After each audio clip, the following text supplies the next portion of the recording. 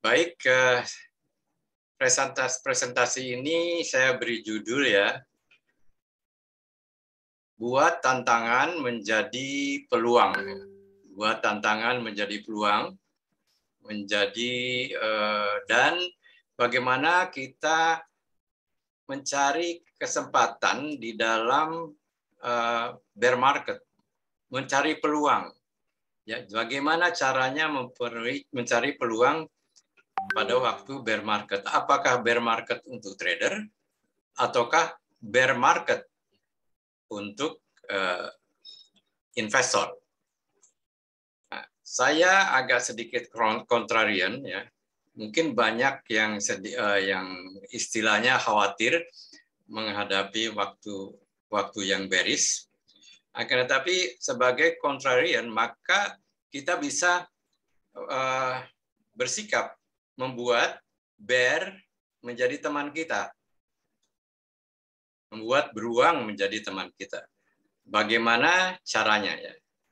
Nah, mari kita quote salah satu uh, uh, wise wise quote dari Warren Buffett ya.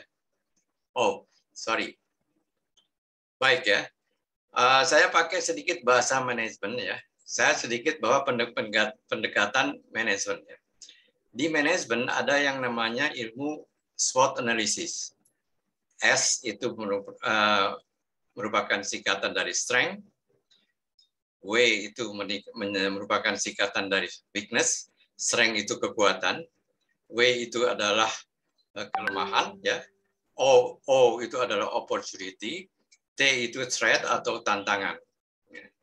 Judul judul presentasi saya pada hari ini bagaimana caranya membuat tantangan ya, membuat T ini menjadi O, membuat tantangan menjadi peluang. Akan tetapi tentunya kita harus meneliti dulu bagaimana keadaan kita sekarang ini. Bagaimana kita sebagai trader maupun sebagai investor dalam menghadapi, dalam mencoba merubah adanya tantangan yaitu market ke arah yang bearish menjadi peluang opportunity. Tentunya kita dengan sendirinya harus eh, melihat diri kita sendiri dulu. Apa yang dilihat? Pertama adalah kekuatan kita itu apa? Salah satu kekuatan kita adalah tentunya pengalaman dan pengetahuan. Ya. Jika kita pengalaman dan pengetahuannya sudah mumpuni, sudah cukup, maka dengan mudah kita bisa mengatasi uh, nah ini ada yang coret nggak ada yang coret-coret lagi ya Pak Anjel ya? Jadi kita bisa mengetahui mengetahui uh, dengan uh, dengan pengetahuan dan pengalaman kita maka kita bisa menghadapi situasi yang ada sekarang ini, terutama situasi di mana kita melihat ya apakah itu di chart, terutama di chart ya, atau di keadaan sehari-hari bahwa market bergerak ke arah bearish. Nah, jika kita sudah memiliki pengalaman, sudah memiliki pengetahuan, ya, sudah bisa men, apa, me, sudah bisa mengendalikan emosi kita dan disiplin kita, maka dengan mudah kita justru setiap kondisi itu bisa menjadi peluang. Setiap tantangan itu bisa menjadi peluang karena apa? Kita memiliki kekuatan, kekuatan pengetahuan, kekuatan pengalaman, kekuatan eh, pengendalian diri, kekuatan pengendalian emosi, dan kekuatan mengendalikan disiplin, serta bisa memanage risiko. Jika kita telah menguasai ilmu itu ilmu itu semua, ya maaf, ini saya agak jika kita telah menguasai ilmu-ilmu itu semua, maka kita bisa segera dengan melakukan melaksanakan menghadapi tantangan yaitu adanya bearish market menjadi suatu peluang ya atau opportunity. Nah, kita juga harus mengetahui di mana kelemahan kita diri sendiri ya. Nah, kelemahan kita itu biasanya merupakan satu lawan merupakan lawan dari kekuatan kita, betul tidak? Kelemahan adalah lawan daripada kekuatan. Kalau saya mengatakan tadi kekuatan kita adalah pengetahuan, maka jika tidak memiliki pengetahuan, maka itu akan menjadi suatu kelemahan. Jika saya mengatakan tadi pengalaman merupakan satu pengalaman merupakan sesuatu kekuatan, maka belum belum kita berpengalaman atau kita sebagai pemula, maka itu akan menjadi suatu kelemahan kita. Ya. Akan tetapi saya yakin bahwa Anda-Anda yang hadir di tempat ini adalah mereka-mereka yang sudah berpengalaman semua. Jadi sebenarnya dengan Anda memiliki S ini, yaitu strength, yaitu kekuatan, maka Anda dengan mudah bisa merubah T, threat, threat itu tantangan, menjadi O, opportunity, menjadi peluang. Ya. Nah, di dalam bearish market, peluang itu terbuka lebar baik bagi investor maupun bagi trader. Dan toolsnya adalah ada. Tools apa itu? Mari kita lihat. Saya izinkan saya menyampaikan quotes dari Warren Buffett berikut ini ya. Saya salah satu quote Warren Buffett yang sangat terkenal adalah be fearful ya when others are greedy greedy and be greedy when others are fearful. Dengan kata lain, bear market sering malah menjadi kesempatan yang baik, kesempatan yang terbaik untuk membeli. Ya. Baik di itu di uh, untuk investasi jangka pendek jangka pendek investasi dengan sendirinya bukan uh, bukan day trading maupun swing trading akan tetapi momentum trading misalnya ya untuk dua tiga bulan dua tiga bulan dengan memanfaatkan terjadinya koreksi. Ya. Warren Buffett kembali saya katakan berhati-hatilah ber, uh, kita harus khawatir jika yang lain sedang euforia euforia beli, harga naik terus dan lain-lain, ya ikut-ikutan. Nah, justru kita di situ harus khawatir. Tetapi kita harus mulai masuk ketika orang lain mulai ketakutan. Nah, kalau menurut saya sekarang ini mulai banyak sekali orang yang ketakutan. Banyak yang bertanya, "Eyang, gimana nih menghadapi bear market ini? Apa yang harus kita kerjakan? Apakah ada Eh, taktik-taktik dan strategi-strateginya? Saya mengatakan ada. Justru Warren Buffett mengatakan bahwa in other words, bear markets are often the best time to buy. Dengan kata lain, menerjemahkan yang huruf uh, hitam ini, Warren Buffett mengatakan dengan kata lain, dengan kata lain, bear markets adalah suatu kesempatan yang terbaik untuk membeli Coba Anda lihat, kalau Anda sebagai seorang investor, pada waktu market bearish dua tahun yang lalu, di mana IHSG dari 6.000 turun ke 4.000. Apakah itu bukan kesempatan yang terbaik bagi investor? Yang membeli pada waktu itu, sekarang sudah untung 50% dalam waktu dua tahun. Ya. Nah, caranya bagaimana? Saya, ini cara saya nih. Saya melakukannya dengan FANTA. FANTA itulah fundamental analysis and technical analysis. Ya. Fundamental analysis dan technical analysis. Cari saham yang secara fundamental sedang undervalue. tapi saham-saham yang bagus.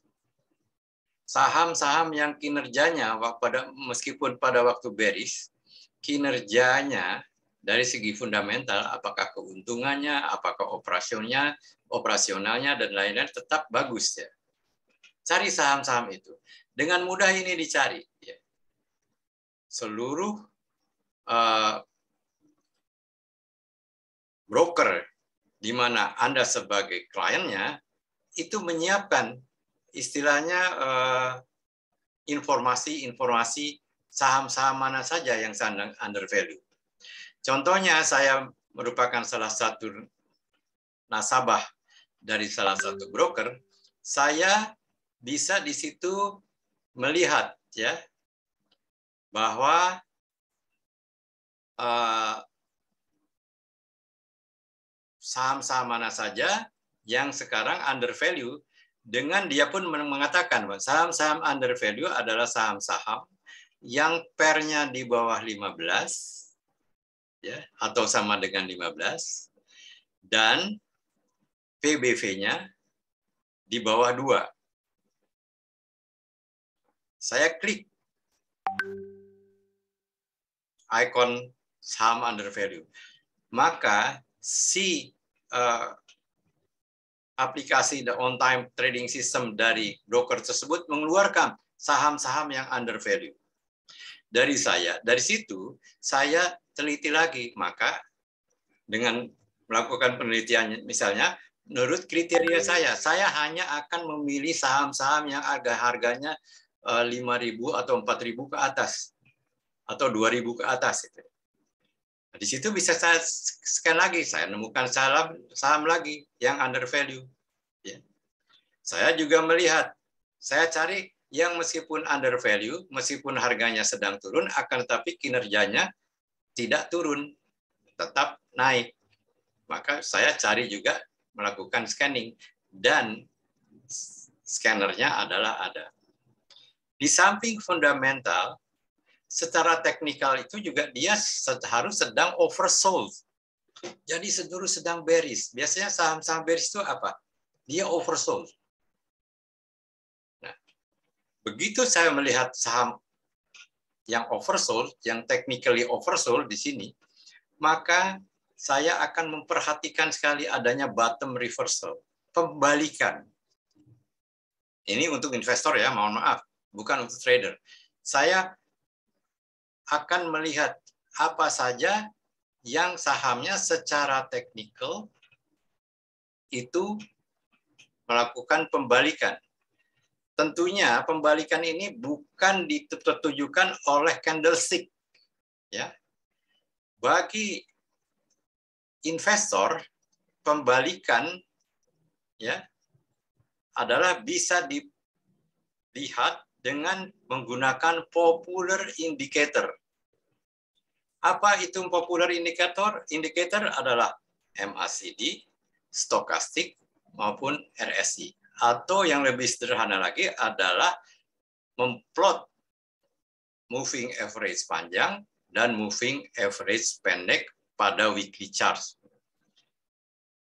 Karena di sini saya bicara soal Warren Buffett, maka saya bicara adalah tentang investor dan investasi ya. Jadi uh, bukan trading. Nanti trading ada lagi pada caption berikutnya. Lalu cek ke PIPMI ya. Ini saya akan sampaikan nih.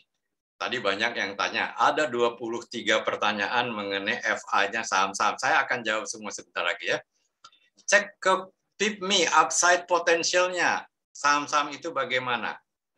Kalau sudah ada cek ke PIPMI dan Anda sudah memperoleh dan Anda menemukan uh, informasi dari PIPMI yang PIPMI itu maaf saja informasinya adalah menggunakan iuran Anda-Anda itu loh.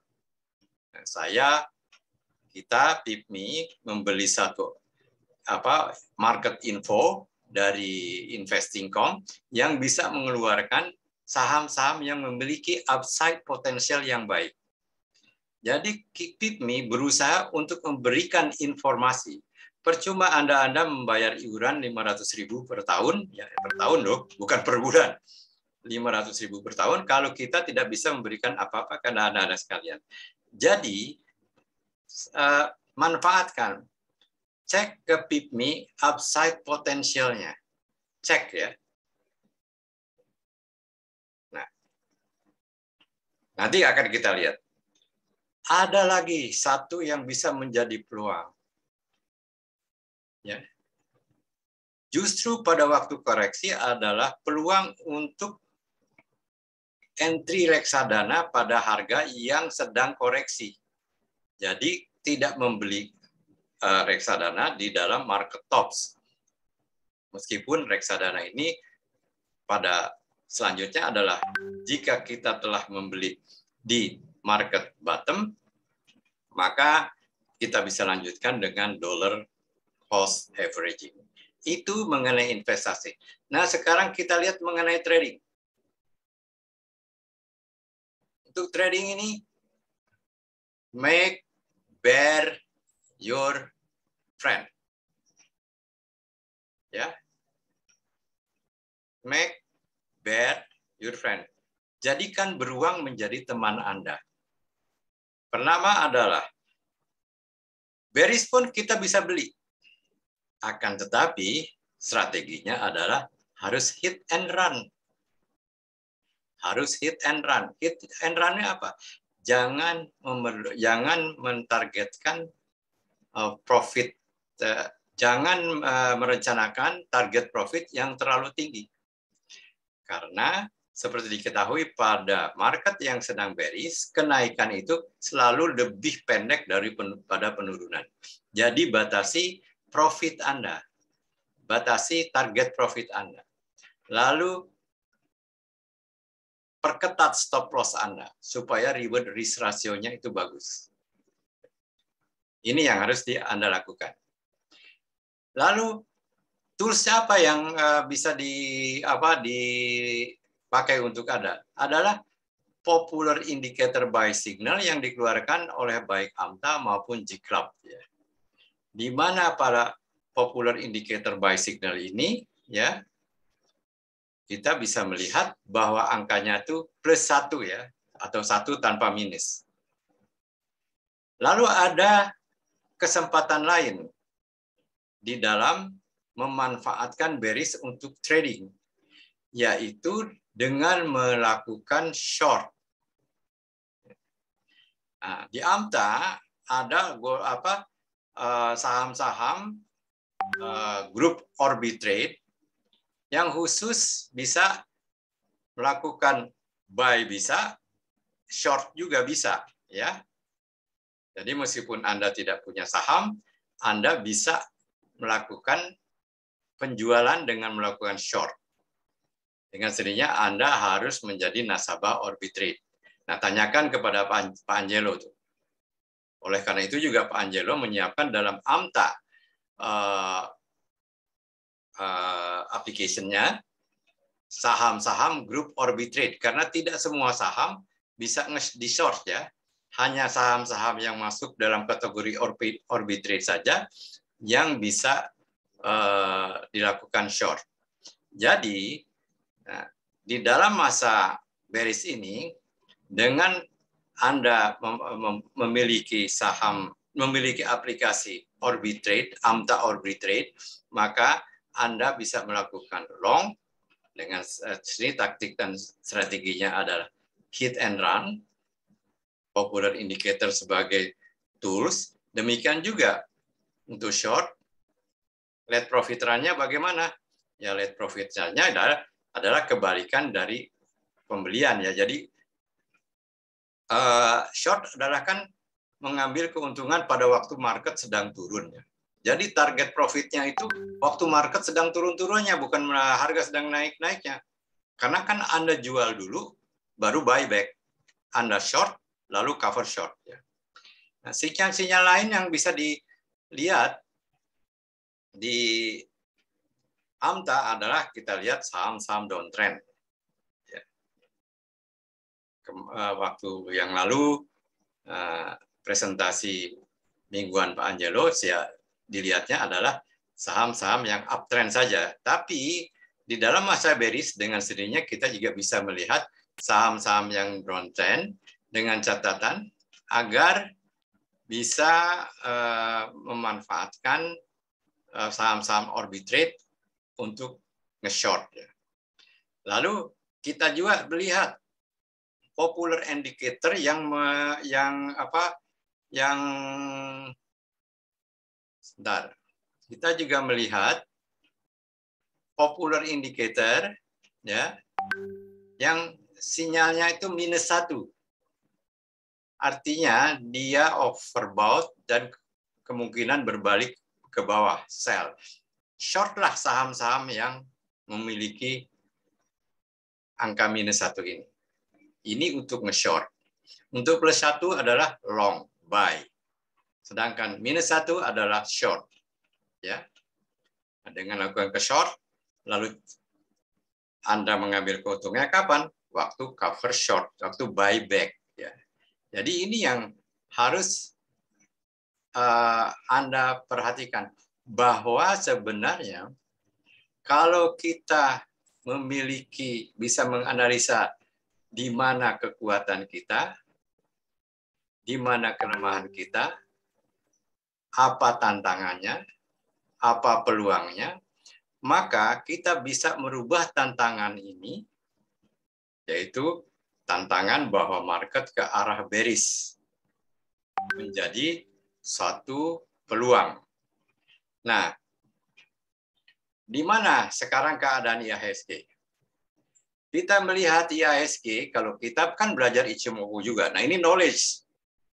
Ya. Ini merupakan merupakan satu kekuatan. Kalau Anda memiliki pengetahuan mengenai Ichimoku. Karena apa? Dengan Ichimoku, Anda bisa mengetahui bahwa apakah saham-saham itu sedang bearish, apakah saham-saham itu sedang bullish, apakah saham-saham itu sedang uh, netral. Ya. Kalau kita melihat di sini, kalau kita melihat di sini, maka dapat dikatakan bahwa IHSG sedang bearish ya, sedang bearish. Akan tetapi bearishnya itu lemah. Karena apa? Karena harga-harga ini masih berada di atas Kumo Cloud. Jadi kesempatan untuk melakukan long long itu masih ada ya, tapi di sini yang jelas jelas tidak ada. Dan jangan melakukan long buy misalnya selama harga-harga ini di bawah garis merah ini. Lalu apa yang kita lihat dari, lagi dari gambar ini? Kita bisa melihat dari gambar ini bahwa bentar.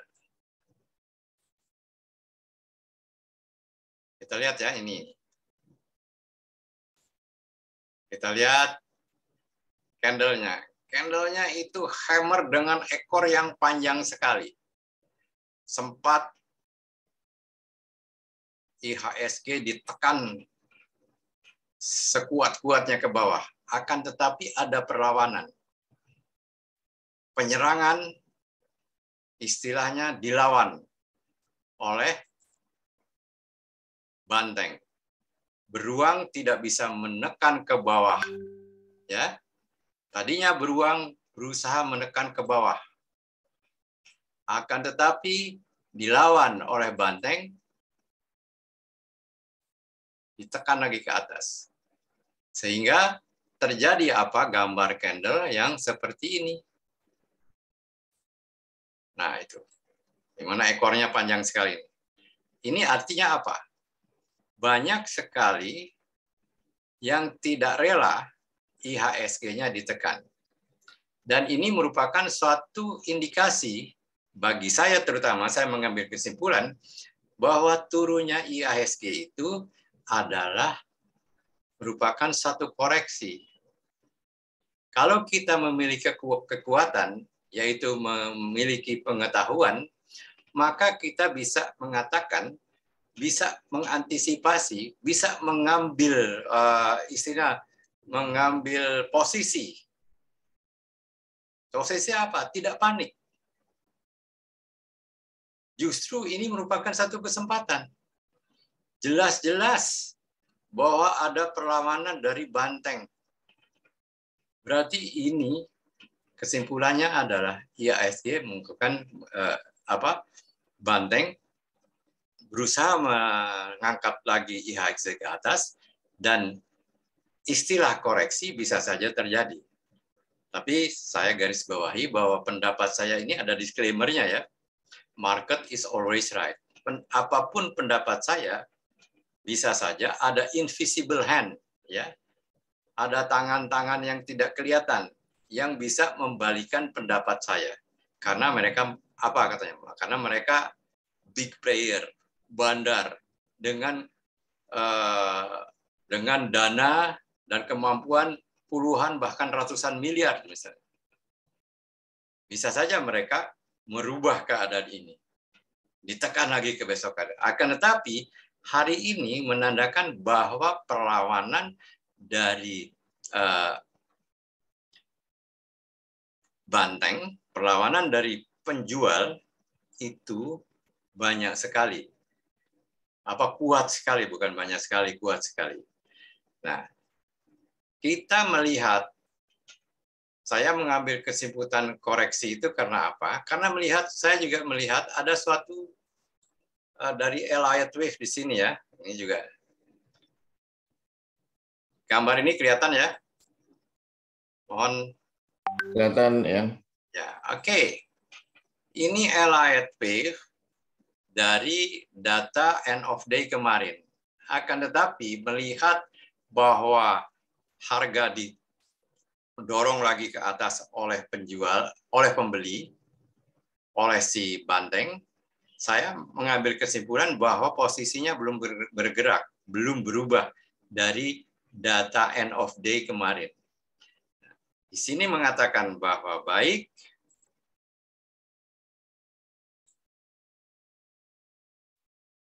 jangka pendek, jangka menengah, jangka panjang trennya itulah masih trennya masih ke atas dan positif. Jadi meskipun ini turun, meskipun IHSG turun, saya masih menganggap ini merupakan satu koreksi. Ya, merupakan satu koreksi.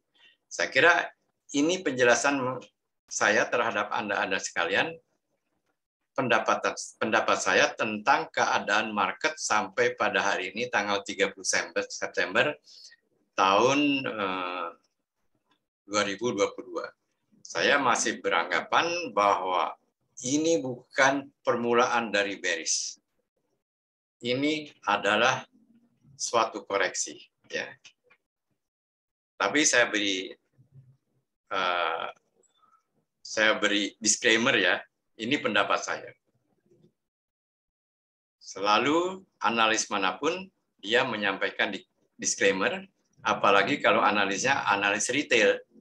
Karena di istilahnya di belakang pergerakan saham-saham pergerakan harga-harga saham adalah ada satu invisible hand. Ada suatu yang apa bergerak di belakangnya yaitu para big player yang bisa membalikan keadaan dengan mudah karena mereka memiliki dana yang besar. Akan tetapi satu bahwa big player itu tidak sendiri. Big player itu juga ada big player bear, ada big big player bull. Jadi Anda juga jangan takut. Ya. Ada big player yang memiliki bumi di harga rendah banyak, tetapi ada big player juga yang memiliki bumi di harga yang lebih tinggi. Sehingga dia tidak apa? tidak rela harganya diturunkan oleh mereka-mereka yang memiliki bumi di harga yang rendah. Kalau mereka banyak-banyak di kalau banyak big player yang memiliki bumi di harga rendah, pasti dengan harga di atas uh, 100 rupiah sekarang ini atau 137 kalau tidak salah, mereka masih gatal juga ingin take profit. wah gua masih punya harga 50 perak. Nah, kalau gua harga turunkan ke 100, gua tekan untuk gua buyback lagi, gua masih bisa untung 100%. Tetapi ada big player yang membeli di harga 120. Nah, kita dengan chart, dengan volume chart, itu kita bisa mengetahui bahwa banyak juga big player yang membelinya bukan di harga 50 akan di, di harga 80 dan mereka tidak rela harganya diturunkan dari 120 ke 100 misalnya. Jadi Anda jangan khawatir meskipun kita mengatakan big player punya kuasa but big player itu ada dua, big player beruang dan big player banteng. Ya. Baik.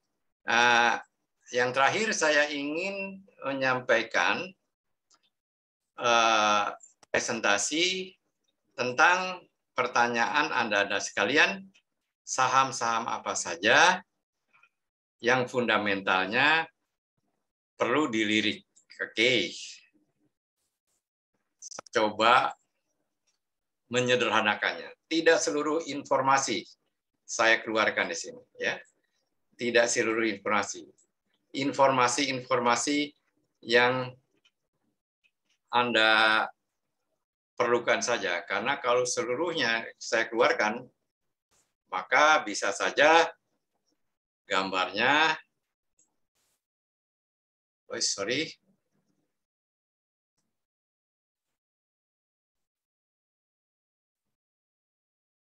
Kalau informasinya seluruhnya saya keluarkan, maka bisa lebar Bapak ya. Unhide. Wah, dikunci rupanya. Oke. Baik. Saya jawab aja pertanyaan-pertanyaan ada ada sebentar 28 saham yang ditanyakan fundamentalnya. Bersama ini saya akan jawab ya. Berdasarkan inform market informations yang saya peroleh dari uh, market info yang uh, kita miliki, yang PIPMI miliki ya. Kalau PIPMI miliki, berarti juga dimiliki oleh Anda-Anda yang menjadi anggota PIPMI Gold. Pertanyaan pertama adalah, eh, maaf saya ulangi dulu, saya sorting, saya urut, bukan berdasarkan pertanyaan Anda-Anda, nama-nama pertama, kedua, ketiga, sampai ke 20, akan tetapi saya sorting berdasarkan saham apa yang dianggap secara keseluruhan adalah sahamnya excellent. Ya. Jadi saya juga tidak men, tidak sortingnya, tidak membuat tidak sorting atau tidak membuat urutan berdasarkan nama sahamnya juga ya. Akan tetapi saya membuat urutan berdasarkan status overall labelnya. Jadi status secara keseluruhan saham ini setelah memperhitungkan semua yang ada di sini, ya, hasil akhirnya apa? Dan saya bisa mengatakan berdasarkan informasi-informasi yang disampaikan oleh eh, market info ini untuk menjawab pertanyaan-pertanyaan Anda, saham-saham, kedudukan saham-saham yang ditanyakan oleh Anda di PIPMI Jadi maaf, eh, saya tidak jawab satu persatu ya eh, pertanyaan Anda berdasarkan nama, ya, nama-nama Anda saya tidak sebutkan, akan tetapi saya menyebutkan saham-sahamnya aja. Ini berdasarkan overall label. Nah, jatuh kepada status excellent excellent dengan seninya yang terbaik, yaitu ITMB, PTBA, SMDR, TAPG, dan TB. Ya. Yang dicari oleh Anda tentunya adalah upside potensialnya. Atau potensialnya adalah di sini, ITMG upside-nya masih 48,30 persen. Tapi saya katakan ini untuk investasi loh, ya, bukan untuk trading. Untuk trading tanya Pak Angelo, ya. PTBA 50,90 persen. SMDR 40 persen. TAPG 34 persen. Lalu TB 39 persen. Lalu saham siapa aja yang great, yang statusnya great. Great itu sedikit di bawah excellent. Ada banyak saham yang statusnya great, great ya. Yaitu ADMR. Ya, karena great dengan sendirinya statusnya juga upside potensialnya di bawah saham-saham excellent. Ya, kita melihat di sini ADMR, ya, upside-nya hanya 28,6 persen, Astra 48,40 persen, ESA 31,20 persen, lalu eh, Hexa, ini pertanyaan Ibu Widi kalau tidak salah, 39 persen. Lalu ICBP 22 persen. ya INDF, Bentar, INDF, nah masih bagus ini 53 persen. ya Lalu ISAT 33 persen. Lalu LPPF 45 persen, yang grade dan 45 persen. MPMX grade dan 62,90 persen. Lalu P1 grade dan uh, maaf itu wood ya. P1 grade ya upside potensialnya hanya 30,4 persen. Lalu wood dia statusnya grade, upside potensialnya 68,50 persen. Nah ini yang lihat nih ya, yang good bukan great, tetapi upside potensialnya masih tinggi adalah 59,20 persen. Mengapa dikatakan good di sini tidak great? Karena saya lihat lagi adalah uncertainty-nya dia high. Jadi ketidakpastiannya dia tinggi ini masih bisa diperhatikan karena upside potensialnya adalah 59,20 persen. Ini BBCA good, tapi kenapa merah? Ingat, merah itu bukan berarti dia jelek. Merah ini berarti dia sudah kemahalan. Ya. Apa-apa yang merah di sini adalah kemahalan. dengan sendirinya ada harga, ada rupa.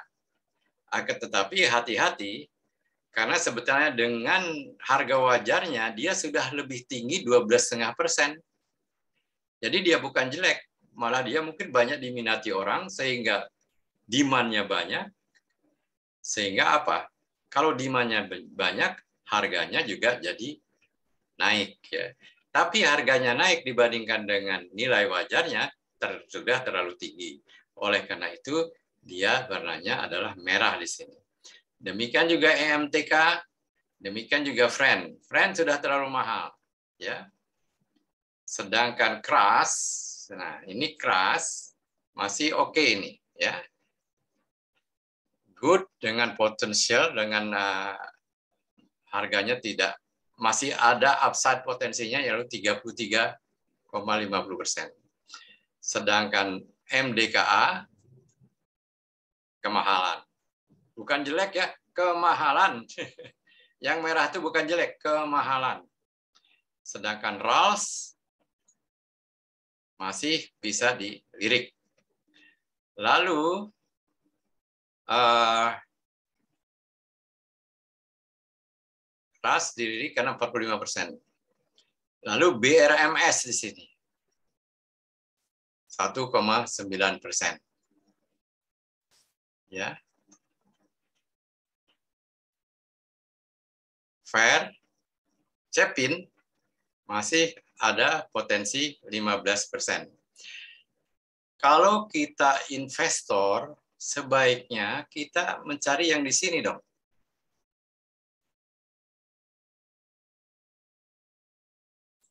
Yang di atas 40 persen misalnya, kalau kita investor. Karena kita value investor. Nah, di sini yang eh, menarik adalah PNBS ya sama WIRK. Dikatakan overall labelnya weak. Malah WIRK itu belum tersedia data-datanya. Tapi harganya excellent, luar biasa. Nah ini yang dikatakan, kalau melihat harganya saham-saham tersebut, saham kedua saham itu adalah termasuk saham uh, saham uh, penny penny stock atau saham kacangan ya. PNBS itu saham kacangan. Nah, di sini kita lihat bahwa dengan mudah harga-harga distimulasi atau dimanipulit oleh para big player. Tapi saya uh, agak tidak mengatakan kalau bicara soal PNBS itu yang bermain adalah big player karena harganya harganya eh, tidak terlalu tinggi, harganya mis, masih di sekitar 100 sampai 200 rupiah saja, saya kira ini bukan oleh bandar besar, tapi mungkin oleh bandar ikan teri pun bisa memainkan saham-saham yang di bawah 200 rupiah. Dengan uh, dana yang dimiliki oleh mereka hanya di bawah 10 miliar saja, karena harga sahamnya eh, murah, maka mereka dengan mudah bisa memainkan harga tersebut, menaik turunkan. Ya. Di sini yang berlaku adalah bukan fundamental lagi, tapi yang eh, bisa dilihat adalah alangkah baiknya pendekatannya untuk Eh, bertransaksi di saham-saham yang uh, fundamentalnya tidak terlalu baik karena kan di sini weak semua nih ya. Harga sahamnya murah maka ada tetap alat bantunya. Anda masih diberi kesempatan untuk ikut bermain di saham-saham yang semacam saham PNBS ini. Apa saya setiap akhir sesi satu, akhir sesi dua, menyampaikan kepada Anda-Anda sekalian yang menjadi gold eh, member dari PIPMI, output dari AMTA. Hanya saja mungkin kan Anda-Anda bisa tidak bisa yang tidak memiliki AMTA tidak bisa menganalisanya lebih dalam lagi. Tetapi jika Anda memiliki, maka Anda bisa menganalisanya dengan lebih dalam lagi. Ya. Jadi jangan khawatir. Even pada saham-saham yang fundamental jelek ini weak, weak, weak ya, Anda masih bisa melakukan trading dengan alat bantu yang ada, dengan aplikasi yang ada, yang sifatnya uh, kepada price and volume and value value action, yaitu dengan menggunakan aplikasi-aplikasi semacam AMDA. Demikian bisa dengan demikian juga misalnya bayangkan ini LWIRG week datanya tidak tersedia, belum tersedia, mungkin belum melaporkan akan tetapi price momentumnya excellent sehingga dia mahal sekali. Nah, karena apa? Karena dengan mudah dipermainkan oleh para bandar. Saya kira demikian presentasi saya eh, mengenai bagaimana menghadapi bear market dan menjawab pertanyaan Anda, ulasan mengenai saham-saham yang secara investasi, yang untuk investasi masih memberikan upside potensial yang cukup baik. Sekian, terima kasih. Assalamualaikum warahmatullahi wabarakatuh. Saya agak akan stop recording saya juga dulu untuk dilanjutkan oleh Pak Angelo.